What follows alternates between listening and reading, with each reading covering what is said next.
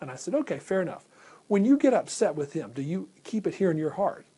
And she smiled and she says, no. She says, when I get upset with him, I tell him.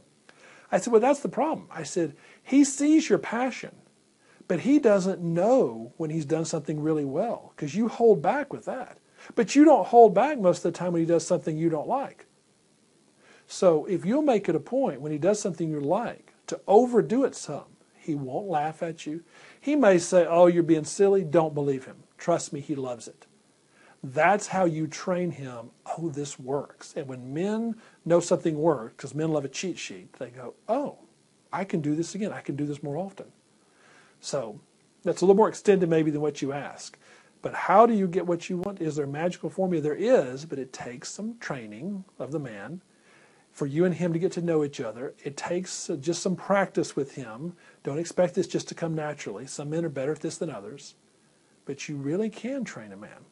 You really can have a way to get what you want from him. But he has to feel that there's a payoff for him.